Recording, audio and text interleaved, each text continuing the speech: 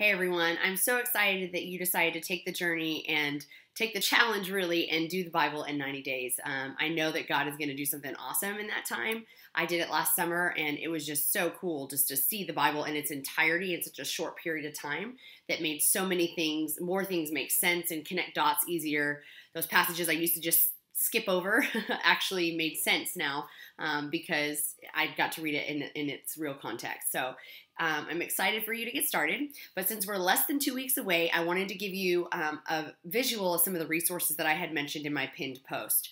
So, as I mentioned, I went through it last summer, and whenever I did it last summer, I just used um, the reading guide, um, which is just a printout that I posted on the website or posted on the on Facebook, the link to that. So I just used this and just went through day by day.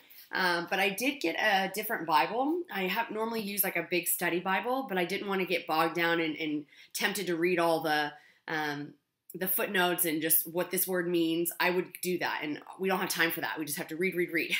so I got a different Bible, um, and this one was great. Um, this one has um, room to mark in the margins. Um, and so what I did, since I didn't have time to study as I was reading, I just went through and just wrote um, like a note, a quick note on the side of the page, and just knew that I would come back. So after I finished the summer, I just kind of went back through and looked at some of my notes, um, and that's what I kind of studied through the next year. Um, whenever my quiet times, just kind of going through those notes and digging deeper into things that were interesting, but I didn't have time. I had to get through that.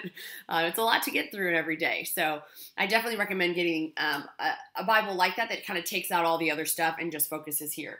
This was what the um, ESV single column journaling Bible. So that might be helpful to you. Um, the other re- resource that I had recommended was there is a study called B90, which is um, a company that has put together resources just specifically for this. Um, and that they give you um, a specific Bible and a participant's guide. You can get them both for $19.99 on their site. Um, so the Bible itself is just a Bible. That's really what it is, except for the only difference is that they stop you um, and they show you the, the days. They just break down the specific days for you. But other than that, it's just a Bible. And so right here at the top, it'll say end day 13, start day 14. Um, so it just breaks it up for you and makes it easier. And it also takes out a lot of the footnotes and all that as well. So um, this is great um, as, as, a great resource as well. Uh, I want to spend most of my time talking about the participants guide. Um, the participants guide comes with this. Um, you can buy it by itself. It's $8.99 by itself.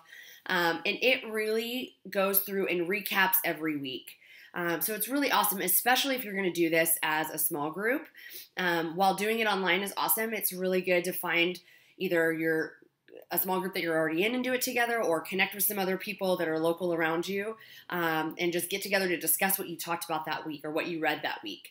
Um, since you don't have a lot of time to, like I said, study it as you go, it's good to just kind of take a deep breath together and go, okay, wait a minute, what do we study, and how does that relate to the story of God as a whole? Um, so each in the in the participants guide, you're going to find different sessions, and each session is following the previous week's reading. Um, and so it'll tell you um, what you just read and then what's coming up for the next week. Give you some warm up questions. Um, a lot of the warm up questions at the beginning are about your process through reading the Bible in 90 days. So, like, um, some like if you're struggling with your reading, are there activities you can replace with the Bible reading other than reading uh, with Bi- replace with Bible reading rather than reading in addition to your current activities? What can you eliminate? Things like that that just kind of have you reflect on what are you struggling with, um, where are you spending your time, and how you can make some more time. Um, then you get into the digging in questions that say, like for instance, it says refer to Leviticus and fill in five main sacrifices below. So as we read through Leviticus, it, you're going to get a ton of information, and so it just lets you recap because these are going to be important when we go into the New Testament and see those um, being um, and how Christ plays into those and, and is the fulfillment of those. So it's important to remember those types of things. And then it has an applying it section. Um, the applying it section uh, just really tells you, you know, really how are you going to apply it to your life. Um, uh, I love this. Like we see in Deuteronomy that Moses dies after viewing the promised land, that he never gets to enter it. And after all the hardship he went through, does this seem a little unfair? And from God's perspective, might it be considered just? And that's really hard because that was really hard for me. Like, really? After all of that, he doesn't get to go in? So, really just seeing, you know, answering honest questions and um, really seeing like how you view God as just or not. And then I want to do one last one, um, and then we'll wrap it up. But um, the I just kind of skipped through. This is down in session nine. This is down whenever you're doing the prophets. Um, so it gives you the same warm up questions and the digging in. But what I love is that each section um, gives you um, what it's like some reading tips for the next section you're coming into. So this one with it says here are some of the major hurdles we encounter when reading the books of the prophets.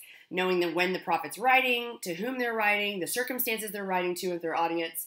And so this chart um, is putting the prophets in their place. And this should help you with those hurdles described. And so then it just like gives you these charts of all the prophets and when they wrote and what's their theme and who the audience was that they were talking to. Um, because it can get really confusing, especially as we're going so quick. And while we do want you to finish the reading, we also want us to understand what we're reading. So this participants guide really helps just kind of almost like a cliff notes in breaking down each section and just making sure, okay, I got the highlights of that week. Let's move on to the next week. Um, and making sure that you really retain that information. And at the end of the, um, the notes, it gives you a little um, a short overview of what the books that are coming up for the next week are.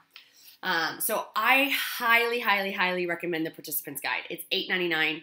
It's seriously really cheap. Um, get this, and this way, even if you get behind, you can still stay on top of it, um, especially if you're doing it as a group and you want to keep up with the group but have gotten behind. You can do some of the Participants Guide, and that will really make the word come to life even more. I'm super stoked to have you guys join um, me and us on this journey and hope that please bring along anybody else and add them to the group. And um, I hope it's an encouragement. And I'm